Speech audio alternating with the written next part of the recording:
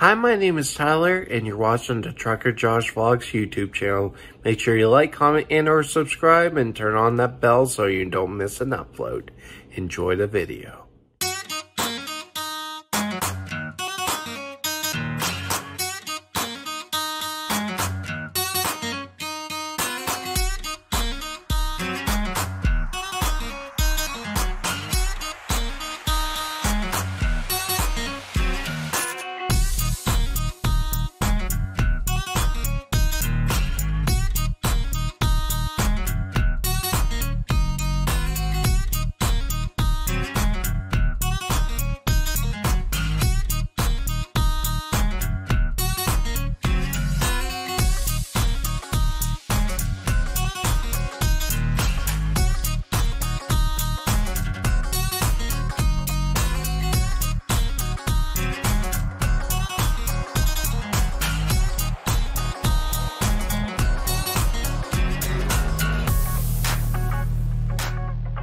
Morning, everybody. We're starting today off with some mail that we got from Josh. He's got to sit. Did he send you some gifts? Okay. I think he's from Minnesota. Correct me if I'm wrong, Josh, but I think this is a squirrel, so I think appropriately so. It should go to Kizo. Oh. He loves squirrels. Chevy, yours is coming. His eyes are just bulging. Yours is coming. Okay, and then we got a Oh my. Toyga. Look at that, Chevy. Same color as you. Oh, it's Frank's. Okay. What else we got? Frank got the tiger. Okay. We got a skunk. Although that would have been appropriate for Diesel as well. Now, Chevy, this isn't food. You don't eat this. But we do appreciate you getting the non-stuffed toys. Yes. Because uh, our golden boy likes to eat stuffing. So, appreciate that. Oh, there's a cow for the weasel. Cow. I will be so careful with him. So careful. Wiener. Foxy Loxy. You dad. Where's it? Where's the squeaker? Oh, there it is. Yes. Die. I want to take him over here and tear him to shreds. In my bed. That's awesome. Thanks so Thanks. We got that in our mailbox. much. Get him. So vicious.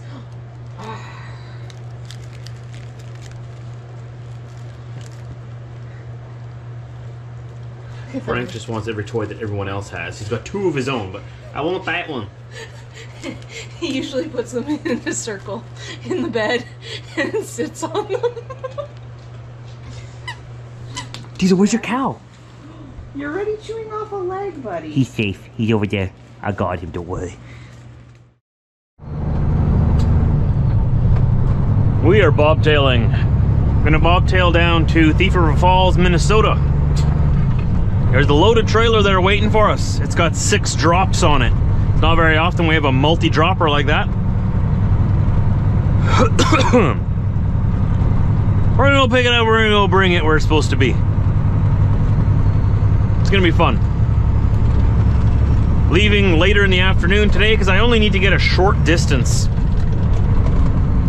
I'm excited to see how my lights are all gonna look at night though. They look pretty good during the day. Don't worry, I'll show you in a bit. I gotta stop for fuel yet. I got the two front fender lights working as well. I had to replace them. I was gonna check the bolts on uh, my old marker lights that were on the fenders. Everything's so old, every bolt I try to take off just breaks off. The bolts just broke right off, so I had no choice. I had to spend the time today to replace my marker lights. Every single bolt broke off. There's two bolts that hold on each marker light. All four broke. But don't worry, the new lights came with their own. So now they'll be good for another couple of million kilometers. A million or so miles before I have to replace them. The lights on the fenders aren't as bright as I thought they might be, but maybe that's just my eyes playing tricks on me. The ones on top of the cab are definitely a little bit brighter, but I like the look of it anyways. I'll show you in a bit. These ones have like a spotlight. Once you get into it, it's like pow! Right there. I thought it would be a little bit brighter, but uh, you know, I'm still happy with that. It does its job, right? You can still tell that it's flashing and that it's on. I mean, I, I think that's a win. I have uh, these down here as well. But yeah, I think they're doing their job very well. I like that it has the visors. That's why I got them, right?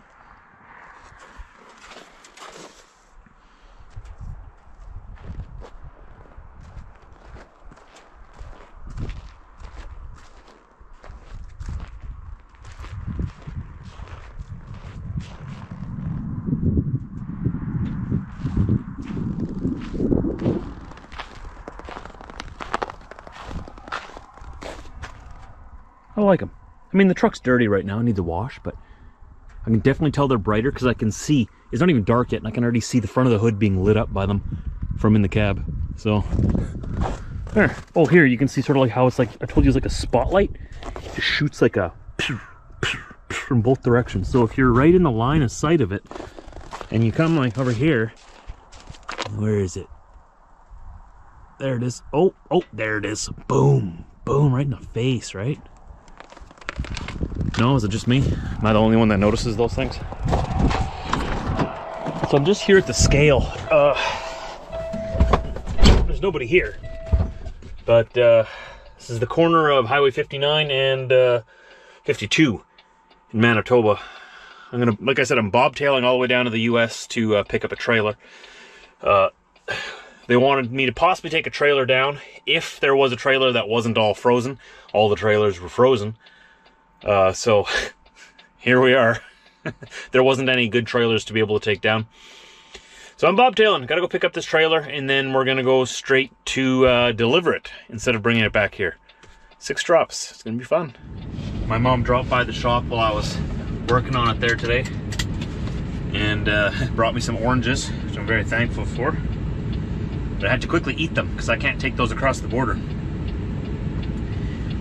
They don't like fruit at the border. You're not allowed to take fresh fruit across the border, even though these oranges most likely originated in the US and then were shipped to Canada, sold here. I'm not allowed to take them back. They don't want them back. Fine, more oranges for me.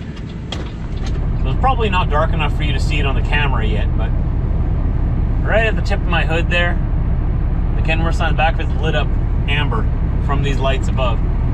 The old lights didn't do that.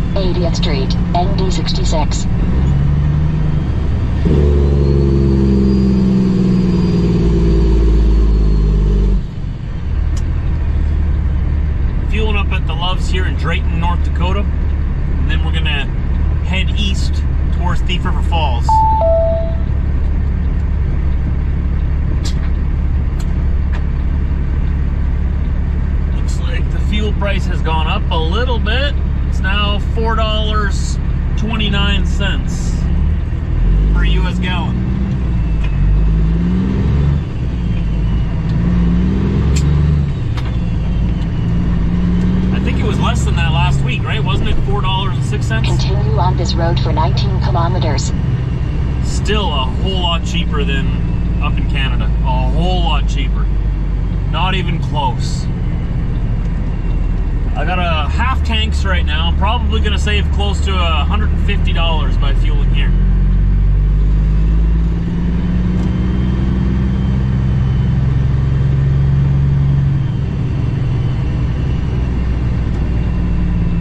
Temperature on this trip is supposed to be pretty mild. I'm not too worried about my fuel or anything in the cold temperature.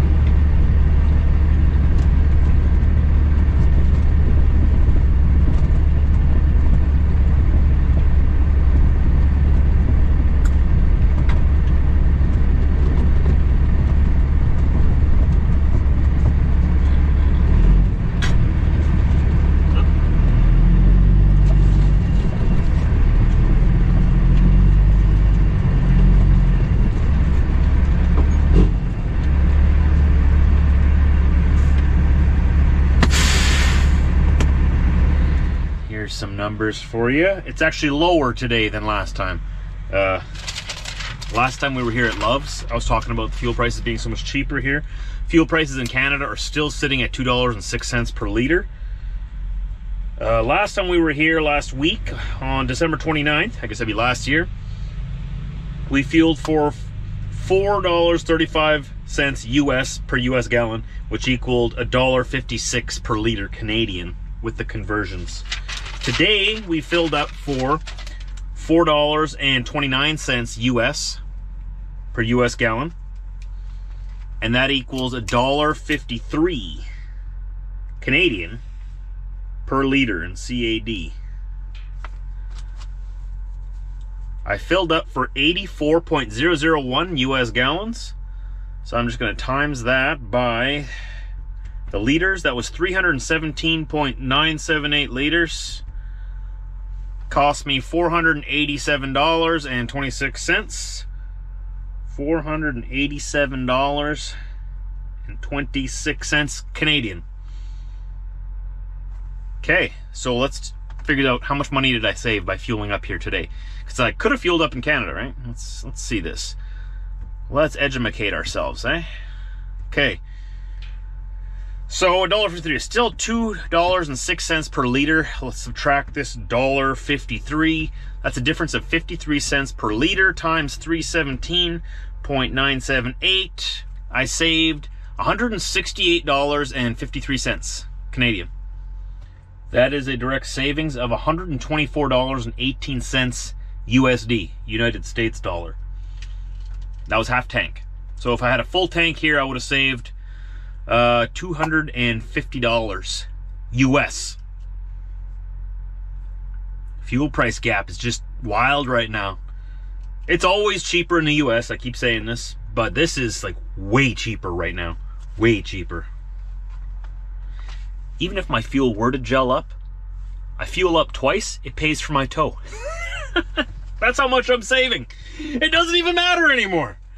And plus, the previous owner of the truck has reached out to me and said this truck has never had issues with fuel gelling, and he's always used US fuel and never added any additives into the truck, ever. Except, except for once, uh, he added kerosene in. He must have gelled up once in eight years of him having the truck. I'd love to hear that story. It was probably like minus 60 or something. But this truck is very good in the winter, is what he's saying. I don't need fuel additives. I don't need anti-gel additives in here. The fuel return from the engine keeps the tanks very warm. As long as I keep my tanks full, don't have to worry about condensation building up in there.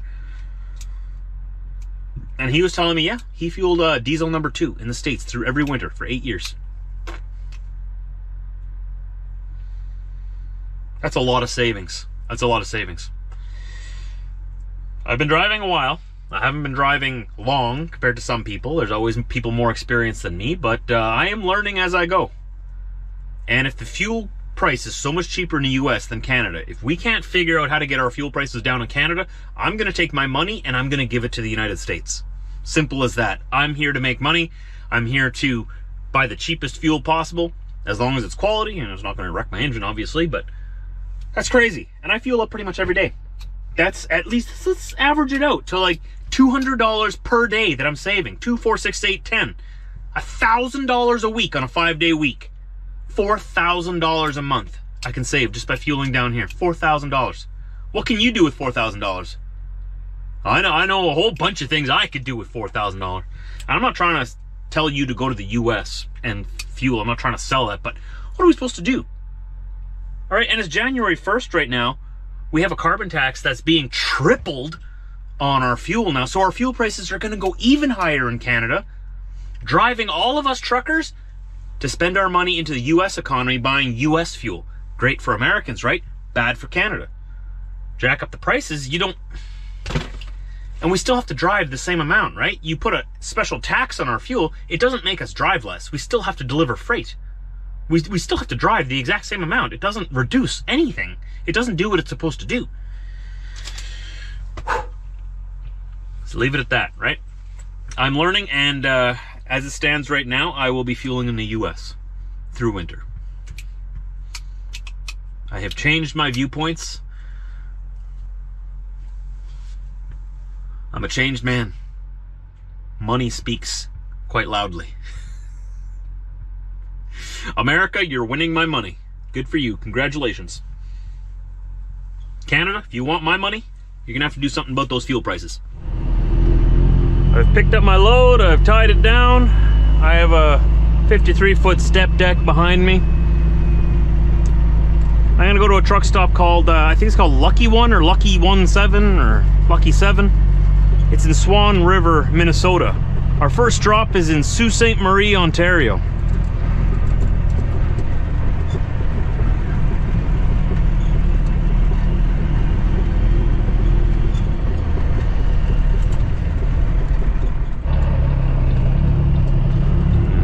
Nobody out on the road today.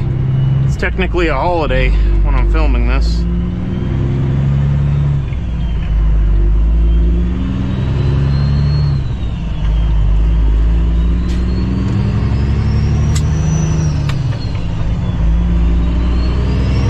Let's go! Make some money!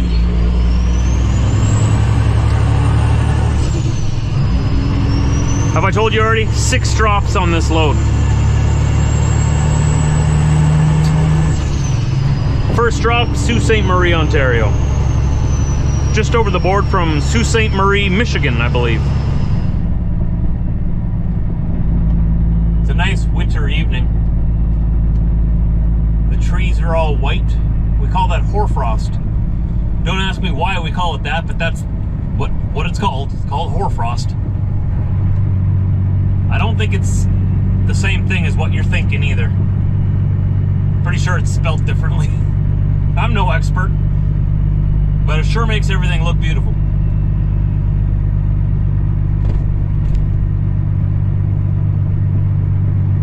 Just gotta sneak through town here and uh, I believe head down US 59.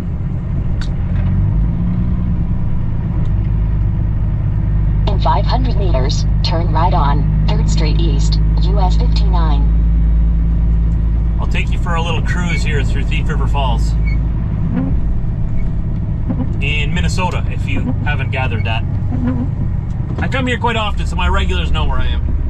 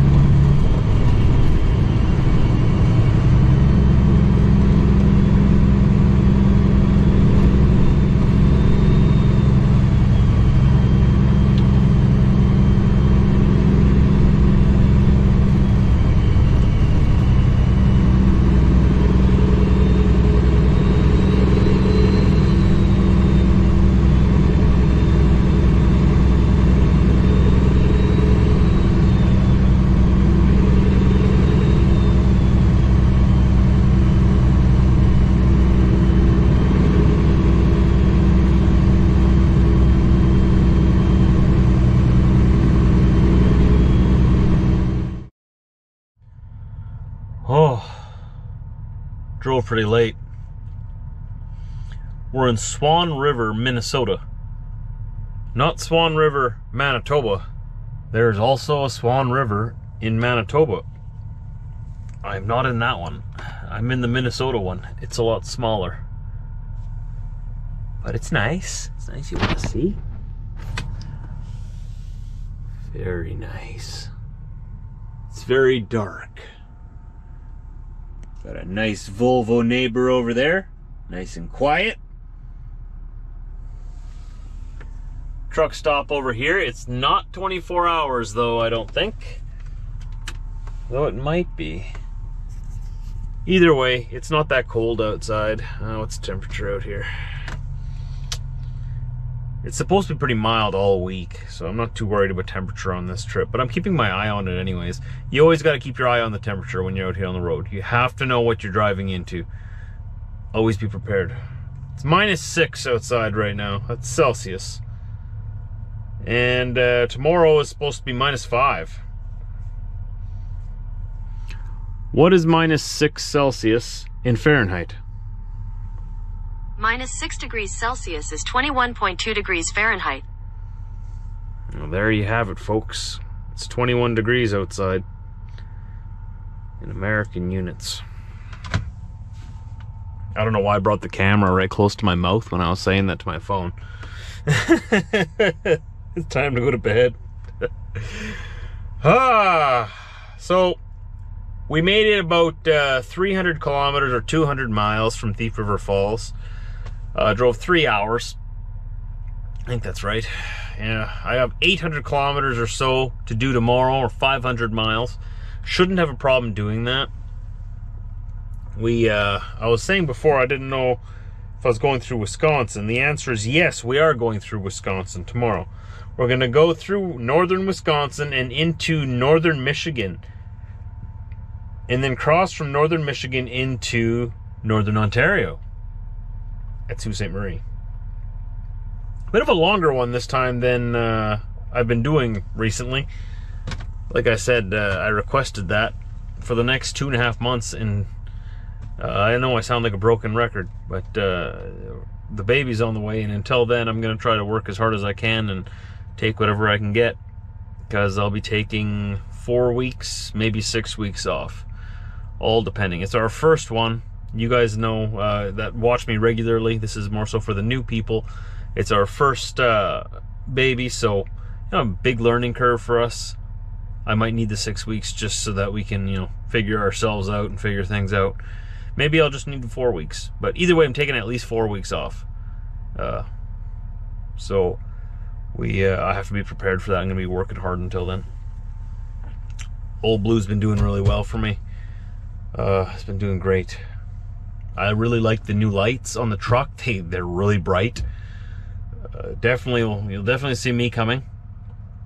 I'm not as impressed with the fender lights. I addressed this a little bit before, I think. Uh, I thought they'd be brighter, but they're not as bright as the roof lights. But close to it. I don't think it really matters that much. I guess I was just expecting them to be like super bright, but they do their job, and that's all that really matters, right? So they do their job, and they look much better, look a lot better. And uh, next on the list is the uh, bunk side marker lights uh, when it comes to lights. We'll see. Like I said, right now I'm not. Uh, uh, I'm in the business of making money for the next few months and not spending anything. I already bought that uh, panel for my brake lights because I thought that I needed to replace it. Turns out my dad just fixed my old one. I didn't need the other ones, but since I have it, I got to get those installed sometime. I need to get a custom piece of steel built for it. I might wait to do that till summer now.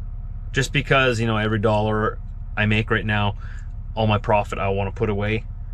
Uh, I don't really want to be building a custom bracket right now and installing that. I'll probably just keep that in my shop and and make that a summer project or something once I get back on the road after uh, after everything's said and done. We'll see. I, I'm too tired to make those decisions right now. Thanks for joining me today, everybody. I really appreciate it. Thanks for subscribing. Uh, looking at my analytics of my last video, there's still about 40% of you who watched that video who aren't subscribed. 40% of my views were from non subscribers. And I'm glad you're here. Appreciate the view. But if you don't mind, it's free. Uh, go down below my video on YouTube there, hit that subscribe button. I would really appreciate that. Helps me out a whole lot.